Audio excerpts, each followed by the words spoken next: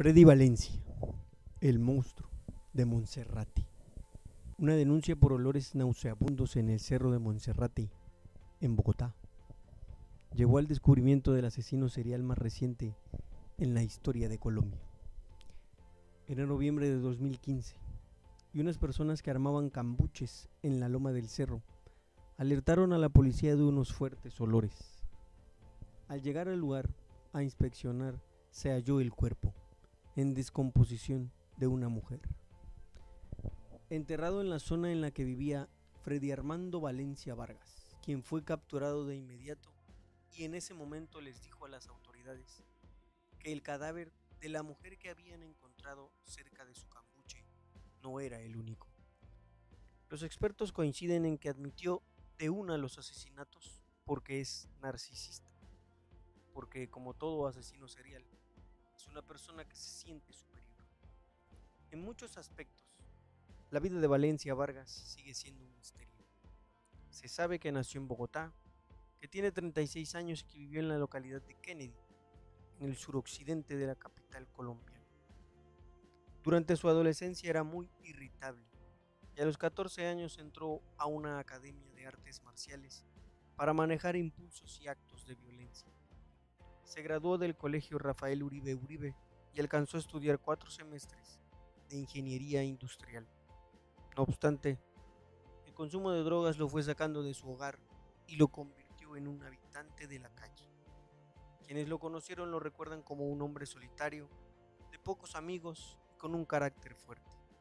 Al dejar su hogar, Valencia Vargas se instaló en el Cerro de Monserrate, donde montó una vivienda improvisada empezó a frecuentar con más regularidad zonas deprimidas de Bogotá, como la L, el Cartucho, Cinco Huecos. Allí se acercaba a mujeres adictas a sustancias psicoactivas.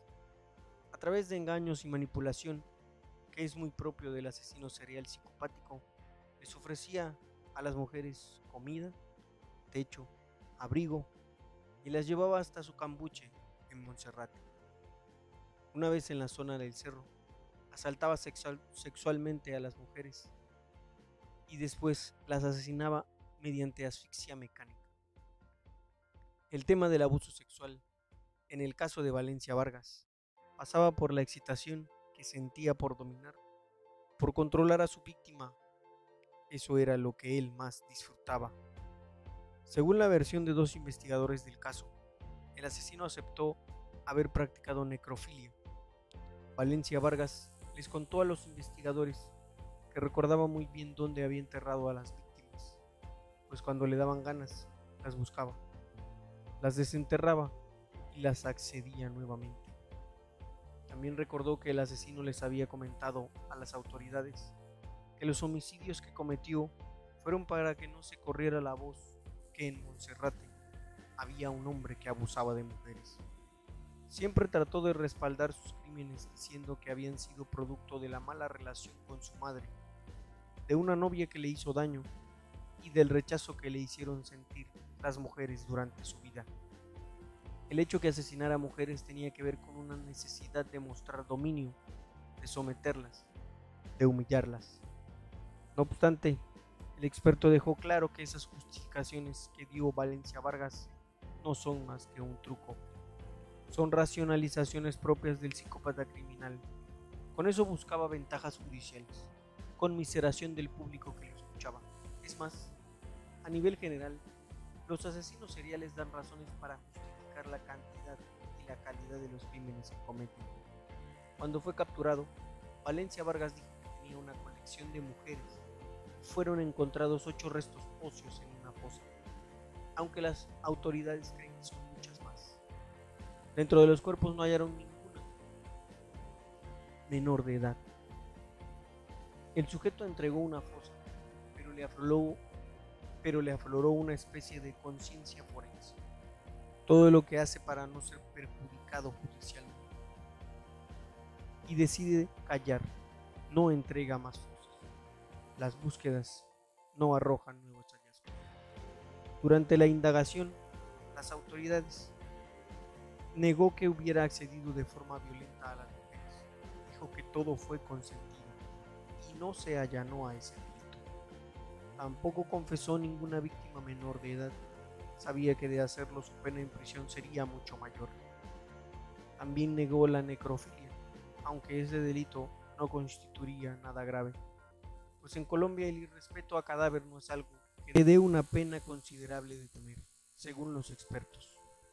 Tuvieron un acercamiento al monstruo de Monserrate y él mismo admitió haber asesinado un promedio de 100 mujeres, incluidas menores de edad. Sin embargo, no aceptó nada de eso en las audiencias. La sensación que dejó es que es un tipo bastante agresivo y muy violento, con un control impulsivo precario, pero también muy manipulador. En cuanto a sus familiares, su padre, taxista de oficio, no supo nada de su hijo durante tres años. Volvió a tener un acercamiento con él cuando los homicidios se hicieron públicos y se mostró sorprendido por lo que había hecho Freddy Armando. Actualmente, el monstruo de Monserrate tiene dos condenas. La primera fue una de nueve años y cinco meses, pero ese veredicto fue después revisado por la Sala Penal del Tribunal Superior de Bogotá, que consideró que la sentencia principal no fue bien calculada y la aumentó a 18 años de prisión. La segunda condena la profirió el juez segundo penal del circuito de Bogotá, quien lo sentenció a 36 años de prisión. Actualmente, el monstruo de Monserrate se encuentra recluido en el pabellón 6 de la cárcel La Picota de Bogotá.